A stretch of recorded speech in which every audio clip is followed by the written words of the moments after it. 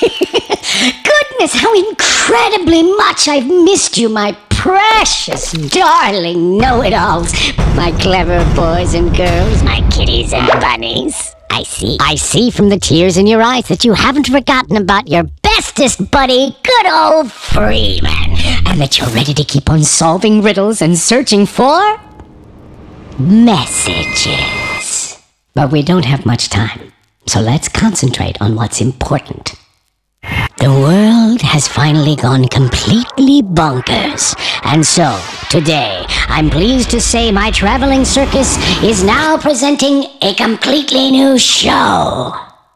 How guys came up with our money!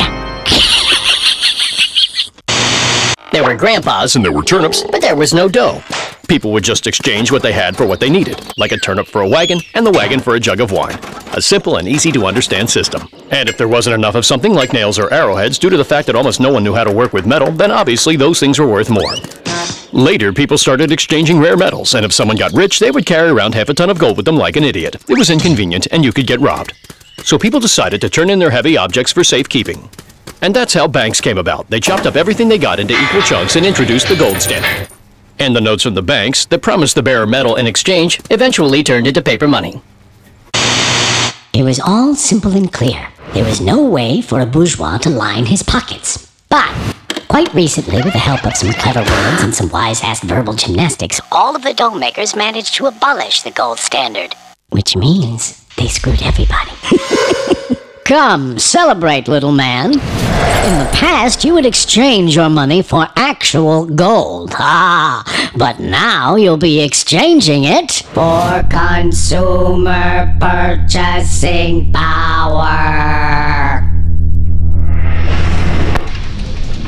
Which means that now currency is nothing more than ink and paper, with an order from above to regard this typographic composition as happiness and the highest good. And those who oppose this order are wheeler dealers, instigators, terrorists, and sodomites! But I'm here to open up your eyes, my dear friends. Think now. There will not be one single atom of jest in my call to action. Now, the government provides and cares for all of our streets, which is good. But that doesn't mean that you're not personally allowed to plant a tree or paint a fence. It's said that good deeds shall multiply. Also, the government prints all the lovely money, and that's good as well because currency is the lifeblood of the economy, and the faster it flows, the more lively the economy will become. And oh yes, the good deeds, they shall multiply, whether it's electronic money, gift certificates, or bubblegum trading cards. Everyone has the right to issue their own money. And that, my friends, is the biggest of bourgeois secrets.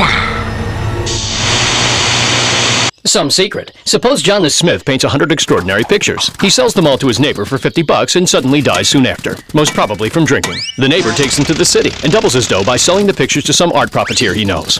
The dealer hangs them in his trendy gallery and starts selling each one for crazy money. People ask, Hey dude, why are they so expensive? He answers, John's dead, there won't be any more pictures, they're in short supply. The same crap's going on with Bitcoin. In this case, math doesn't allow an endless number to be produced. You can't just go and issue 100,000 million of them when you feel like it. Because John died, and they cost exactly as much as people are willing to pay for them. Just like some antique china or a used pair of Stalin's underwear. So anything that there's not much of and is difficult or even impossible to duplicate can work as dough. And that means that almost everything around us is made out of money. It's completely nuts.